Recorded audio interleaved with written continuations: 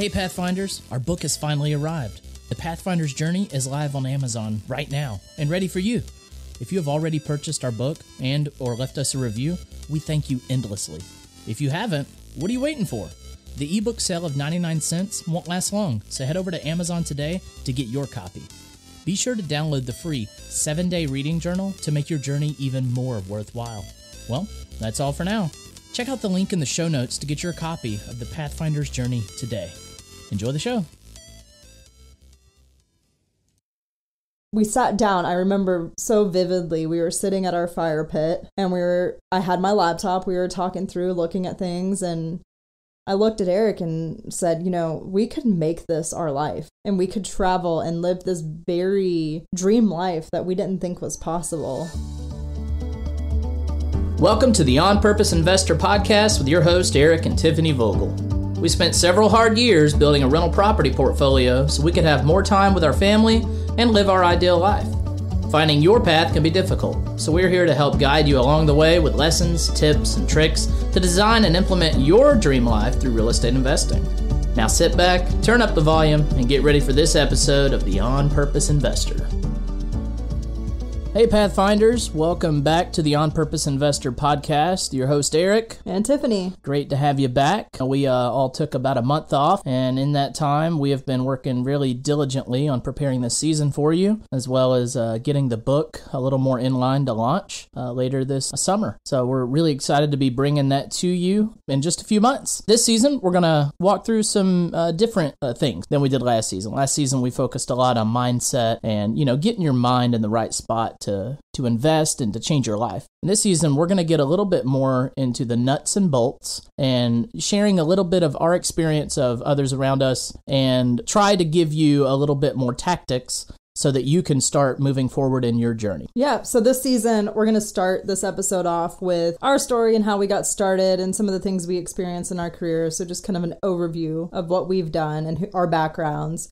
And then we're going to alternate with kind of a lesson similar to what we did last season. And then the alternative episodes, so every other week, it will be um, more of a deep dive into the tactics that we used in our business and talking about some specific deals and properties that we own or have worked on. That's right. So we'll kick this off by uh, kind of walking backwards from the from the very start of it. Talk a little bit about my background. I grew up in a blue collar family. Uh, dad was a heavy diesel mechanic, and mom worked intermittently at the schools or at convenience stores. And you know, she she worked here and there to take up time, but dad was the breadwinner. You and know, she had four kids. So let's Right. add that she was doing a lot in the house also. Yeah, absolutely. And you know, growing up, there wasn't a lot of money education talks. There was never discussions on, you know, utilizing credit or not, saving money. It was always uh, feast or famine. On when dad got his paycheck, that's usually, you know, I remember in my adolescent years of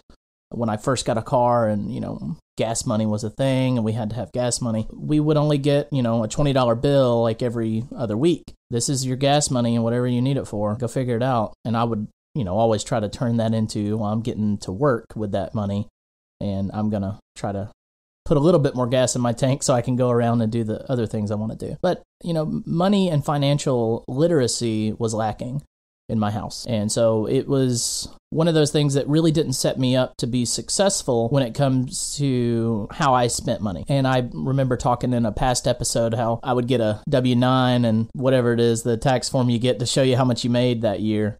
And I'd file it with, you know, H and R Block and say, "Wow, you made, you know, forty thousand dollars last year," and I'd really have nothing to show for it, uh, with the exception of having maybe a car payment and a rent or a house payment. I didn't really have a lot to show for it. I know when I met Tiffany, we kind of she kind of whipped me into shape a little bit about you know tracking money, utilizing it in the best ways possible, and and this was before we became investors. Uh, she said, "Hey, you don't really uh, spend your money in the best ways, and you're you're throwing a lot of money away on different subscriptions on." On different things, uh, stopping at gas stations, and you know, Getting a bagel at Dunkin' Donuts when you could just make a bagel at home or at work. Yeah, and I was just very flippant Yeah. when it came to spending money. If you know, if I had it, I spent it. And that's how I grew up. If we had it, we spent it. And so Tiffany kind of interrupted my life in a good way, utilizing my money uh, in a better way. You know, going through high school, I had no plans after high school, uh, really, other than, you know, I wanted to get out of the house and and start doing my own thing. But uh, my band director, uh, he kind of pushed me uh, to go to college and said, Eric, you have a talent, you have a gift uh, with with music, and you should consider being a music educator. And I really didn't think anything about it. I just kind of let him tell me what I was good at and called the School of Music at Georgia State and they said, "Well, we have auditions next week for for tubas." And I played the tuba and I set it up. I went up there the next week. I played and it was it was all very last minute. Well, and you had to go get an SAT done because Yeah, you didn't so have. well, so the way it all played out, I it was like March or April of my gradu- graduation year, and I went up and played my audition, and I got accepted into the School of Music, and I got a scholarship. And the instructors up there were like, "So uh, submit your SAT scores and all that," and I was like, "I don't have an SAT," and so it was all was all very very last minute. Went and took the SAT, scraped by, got in, and and got uh, financial aid uh, all set up. I barely made it into college, but you know I made it in somehow. And you know, fast forward a couple years into college, and you know I'm out of money. I've I've blown all of my scholarship dollars on fraternity fund, and I needed some money, and I needed some health insurance. So I decided to join the Army National Guard when I was in college. I was two years into college and had no real steady source of insurance, and I didn't really have a lot going on for me other than just going to school. And so I auditioned for the National Guard band, and uh, after a few attempts, I made it in. That's why I joined the National Guard. Well, in college was to to help get those things. And then, you know, that progressed and finished college and started my career as a band director. Yeah, and when you were working as a band director, you were investing everything into your band program. I mean, you would. It was not just a typical teacher schedule. Um, not that a typical teacher schedule's a light thing, anyways, but you would go to work and you would. You always had morning duty, which I never understood. You had to get to work early to help get kids off the bus and handle all of that. Then you would have your normal school day, which would end at what three something. Between 2.30 and 4, depending on what school I was at. So then you would have in the fall band practice after most days of the week. and it would run till about 6 o'clock in the evening. Right. So you were working solid 12 hour days for the most part because you still had to you had to wait for the last kid to go home and Right. so you were working 12 hour days and then your Fridays you had a football game in the fall. The school you were at at the end when we met was a really good football team. So football games didn't end until January. Right. So that was half the school year. And then competitions during marching band season, all day Saturday. So that was another 12 to 15 hour day. Right. So you had Sundays off. You were way overworked. hmm And we, you decided also in the spring to do like an indoor band competition. Yeah, it was just a, a very involved job. Yes. and and it took a lot of time. Um, and you know, the better part of me says, you know, it was so worth it, and it was. There are so many students that that I came across that just you know, if it wasn't for band, you know, it's uncertain where their lives would go Right. because it just gave them a place to be and belong, and that's what it was for me Right. growing up. And I was happy to provide that for others. But at the end of the day, I was doing very little to invest in in myself Right. and very little to invest in what my future family needed and what I wanted for my future Right. family. I mean, I remember you coming home and just being so mentally and physically and emotionally drained that you wanted to go sit in the corner by yourself. And I had spent the whole day working in the home office, so I needed interaction and people. And it was really a hard a hard place for us because right. neither of our needs were being met because we were just so drained all the time from our jobs. yeah, yeah. So that's that's a little bit about my background before we started investing. Uh, Tiffany, let's hear about Yeah. yours. Yeah, I grew up very different from Eric. Um, I think we had a 3,500 square foot house. My, I have one brother and a stepsister, and you know, I had my own bathroom. Eric shared with his all Three his siblings, siblings, yeah. so we had stairs in our house, which was a big deal for Eric. That uh, Stairs inside of a house. That's that's when you've made it. that's rich, rich. Yes. Um, and for us, like money was talked about. We received an allowance, which was equal to our age, um, and half of it was deposited into a savings account each week. So we would get some put in our savings account, and then the alternating week we'd get whatever our age was. But for me, at 16, $16 every two weeks was not enough to do what I wanted to do. So I got a job at 15, um, working at the Outback as a host and worked my way up through there. So there was definitely an emphasis on working for what we wanted. We really didn't get a lot handed to us, but there was, I guess, work ethic was really taught and we were taught to save. So with that money that was set aside in my savings account, it was invested in the stock market. Um, Home Depot and Coke, in particular, were the, I guess, two Atlanta companies my parents, I guess I chose, but my parents helped me invest in.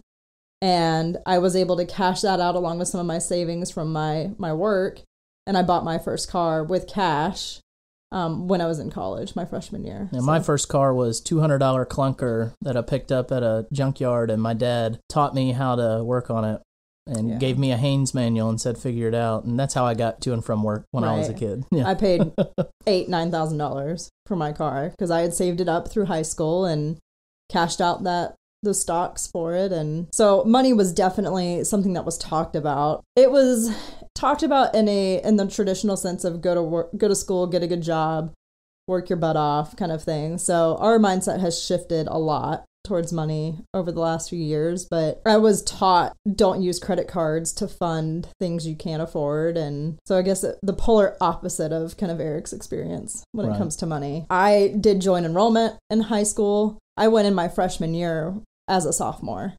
I had already been through college, so I didn't have to take the SAT at the last minute because I had taken it to get into the, the joint enrollment program. And I knew where I wanted to go probably a year before graduating. So I'm a planner. My life, I had planned out exactly what I wanted to do. I got an internship my last semester that turned into a full time job that I started working before I graduated. So I was, I, I, guess, a lot more organized than I would say Eric was, especially when it came to college. I got a degree in finance, never actually worked in a finance department, but stayed with the same company for 11 years, got my master's and kind of found myself not enjoying the work I was doing. I was traveling a lot and I really didn't want to. And there was an expectation at one point in my career that I would be in the office at certain times and for certain hours.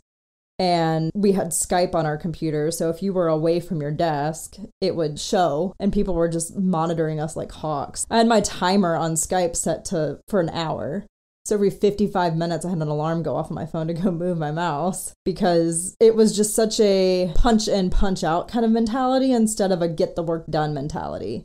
And I had all of my work completed and then some. And I constantly was asking for more work and given busy work. So I stopped asking. So I just, I guess all of that to say, I was expected to work 12 hour days, but didn't have the work for myself to do 12 hour days.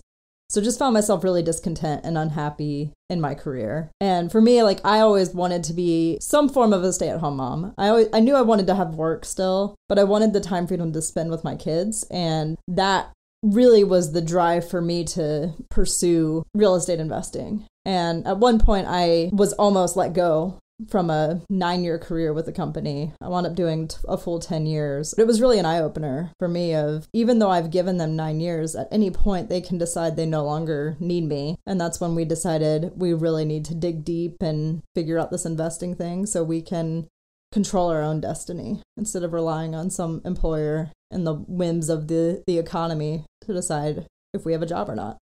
Right. Well, you know, the birth of our company, of our rentals and of our investing career was totally happenstance.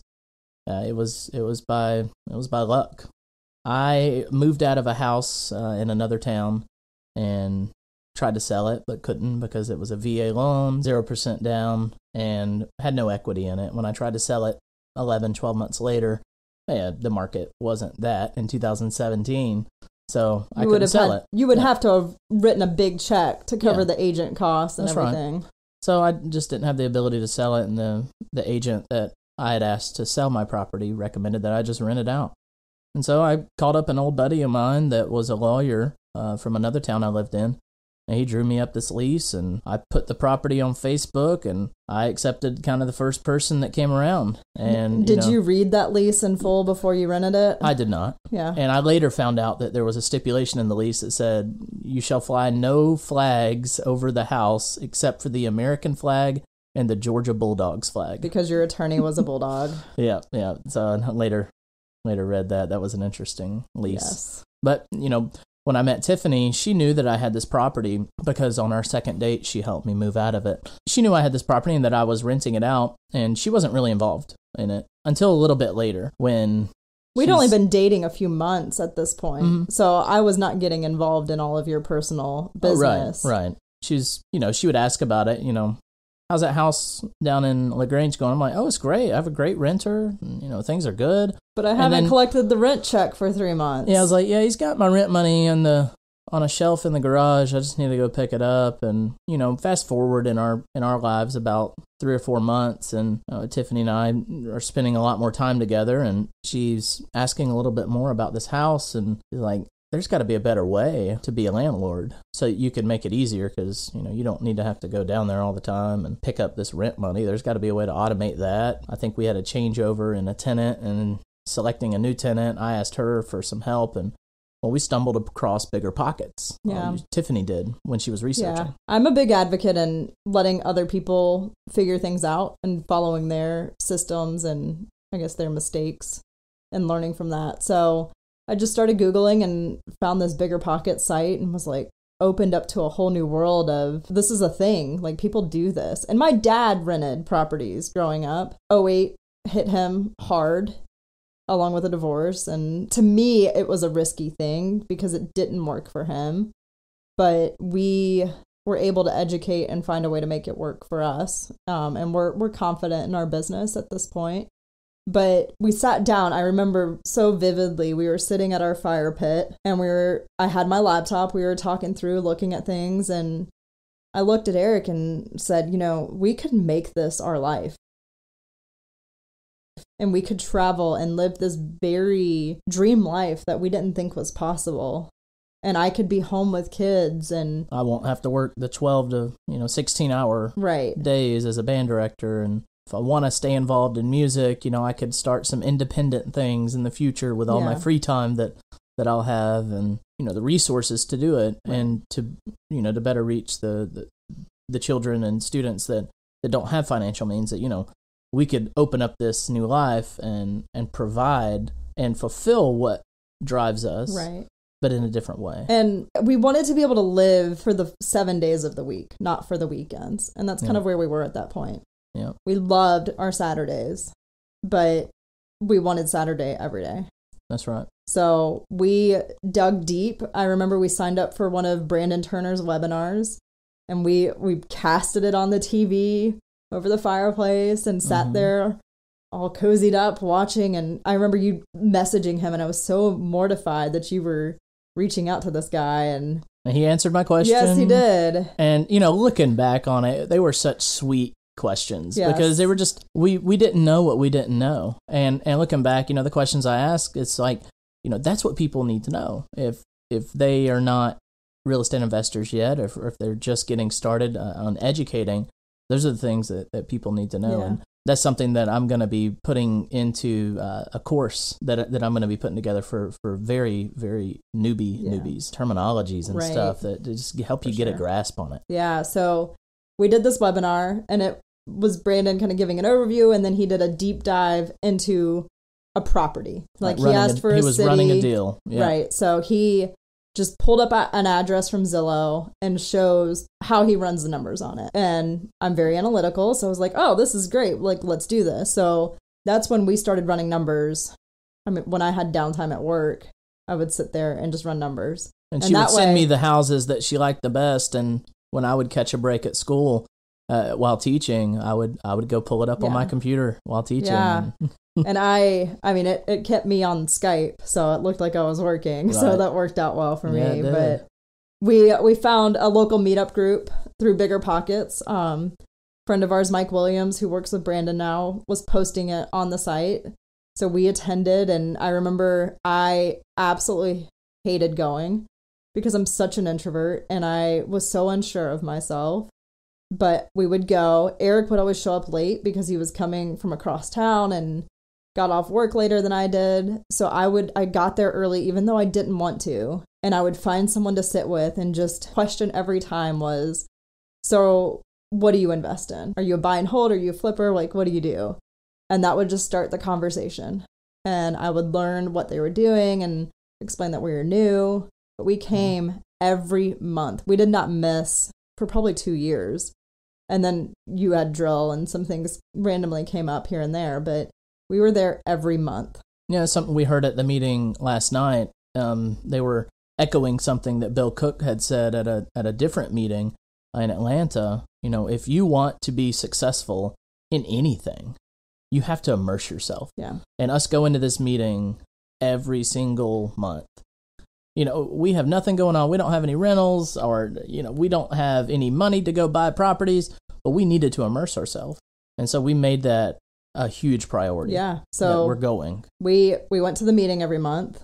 Um, we listened to I listened to podcasts nonstop. I listened to one on the way to work and one on the way back Yeah. from work. I had I had more bandwidth because you can't really listen to podcasts while you're teaching, but I could while I was working. Yeah.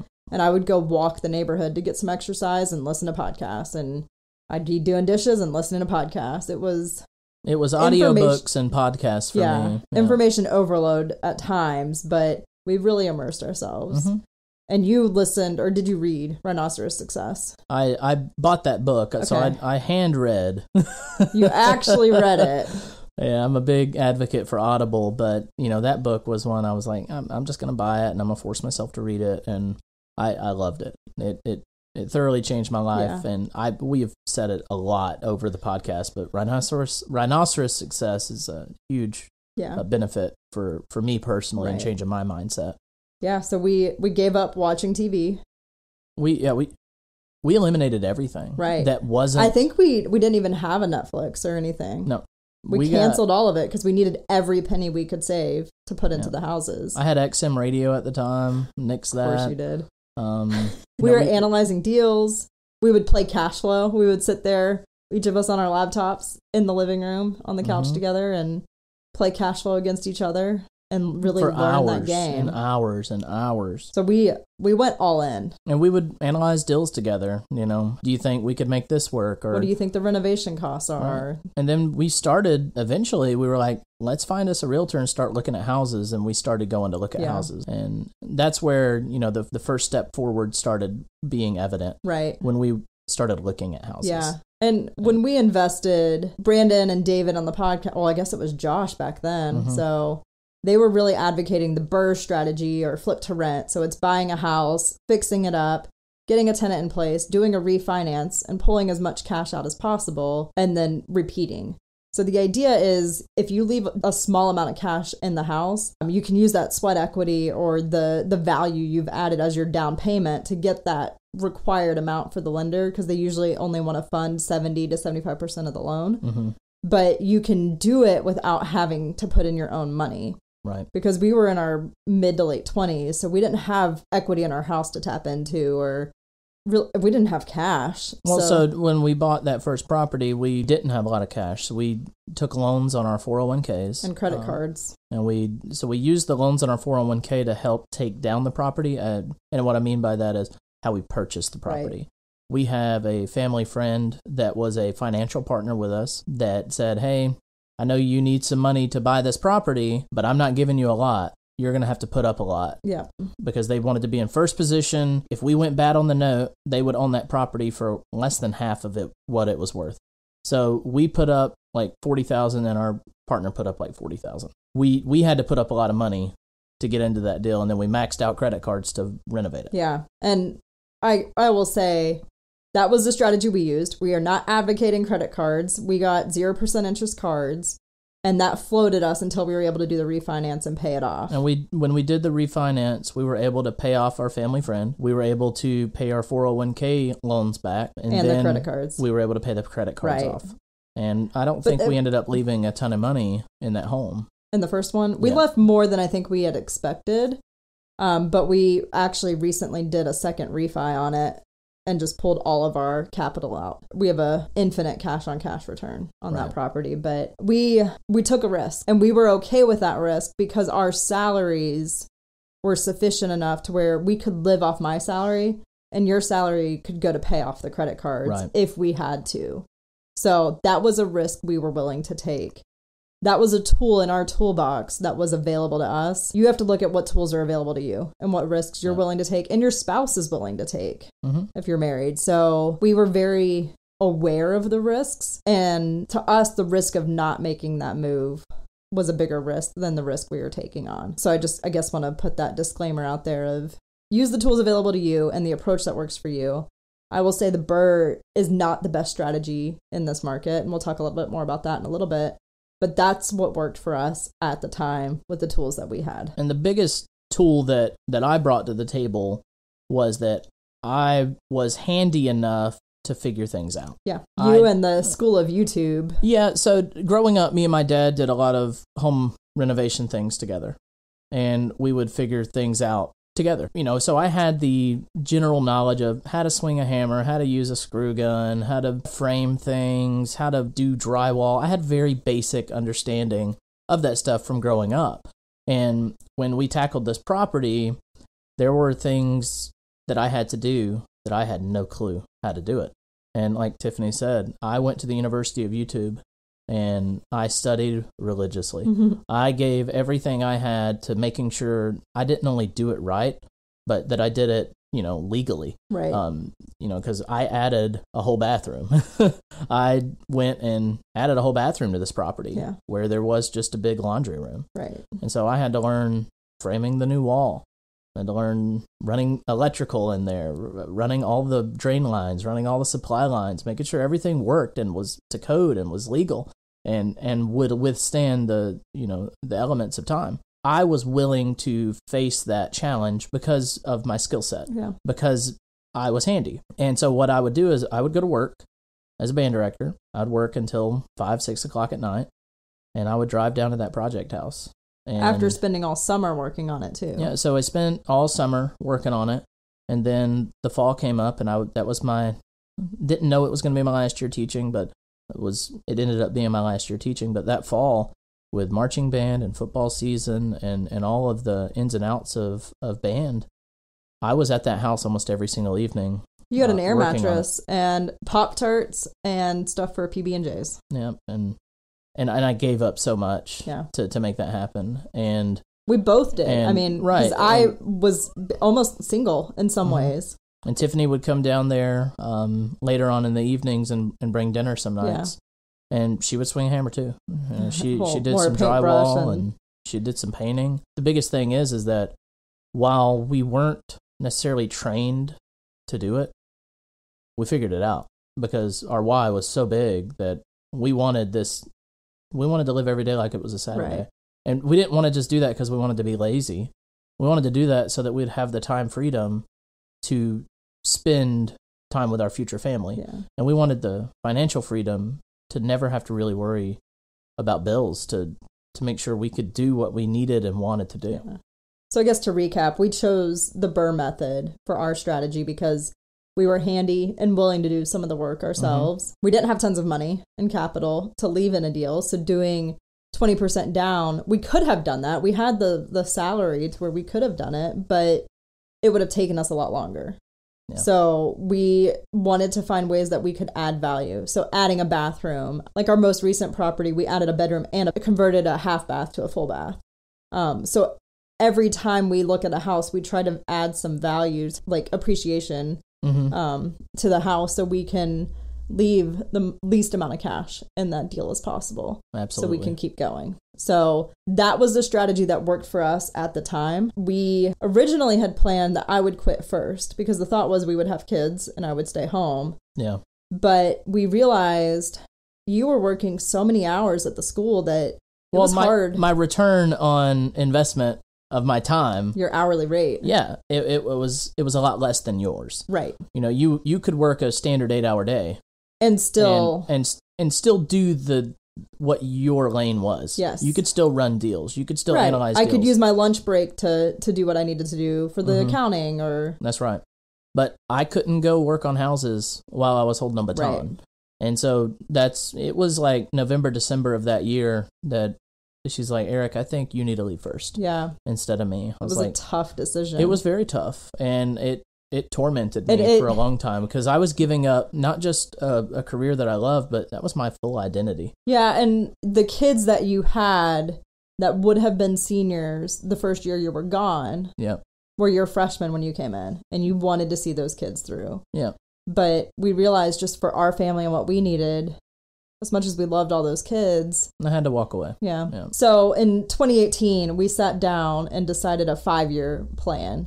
And our goal was to have 25 doors, so 25 units on 16 properties by the end of 2022 to Yeah. reach our cash flow goal and for both of us to be out of our jobs. Right. Um, so right now we're sitting in April of 2022 as we record this, and we have 29 doors and 14 homes and one and a half times the cash flow. So our goal was 25. We have 29 doors, um, 16 properties. We have 14, but we have one and a half times the cash flow because we've chosen to pursue different strategies in shorter term rentals that generate more cash flow per property. Um, that's what we did to get where we wanted to be as fast as we needed to be there. Yeah, our There- our BRRRR strategy kind of ran its course when when the market started getting a little Yeah. bit more pricey. We chose this strategy because our goals were to be home with our kids. There's this thing called the PITA factor. It's the pain in the butt factor.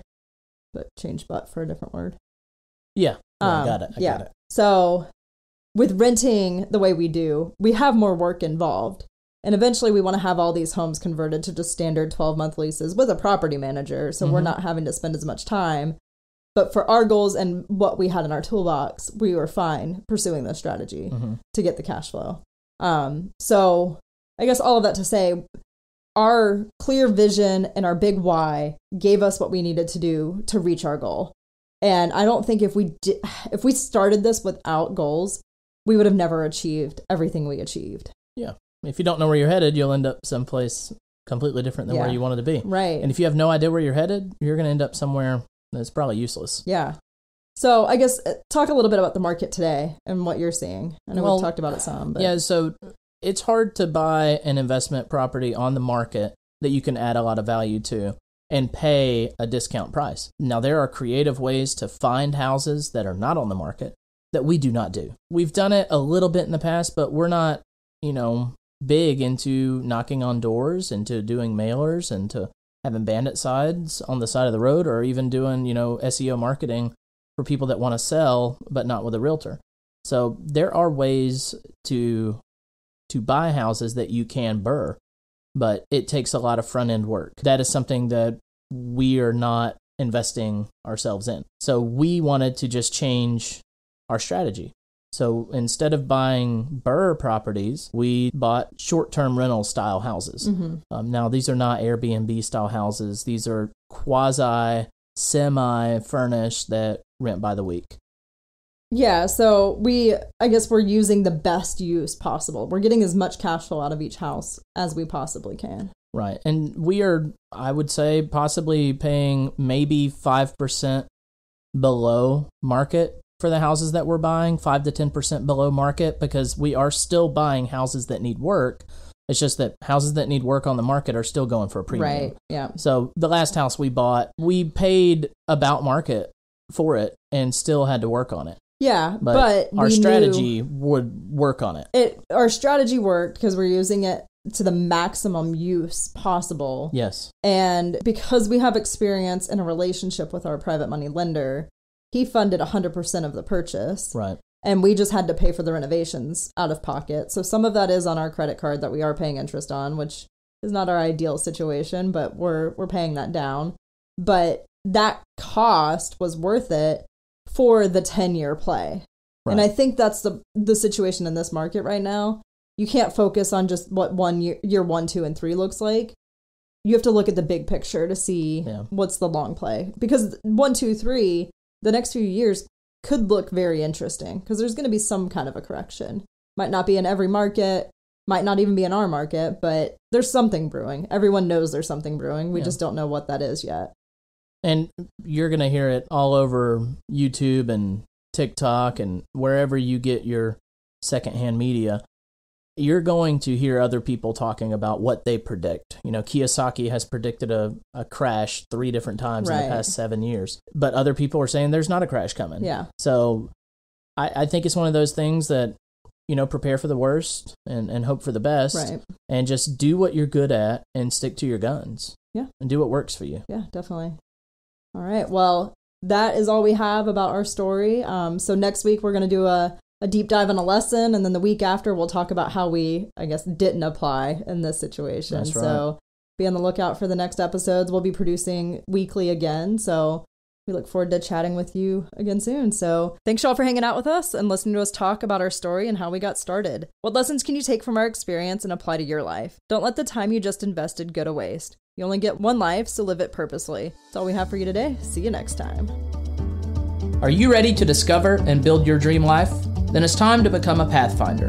Head over to onpurposeinvestor.com and sign up for our newsletter to get tips and tricks to help you find your path and get the latest from our blog. If you haven't already, we'd really appreciate an honest review on your favorite podcast app. If you're enjoying this show, share it with friends, family, and fellow investors. See you next time at the On Purpose Investor Podcast.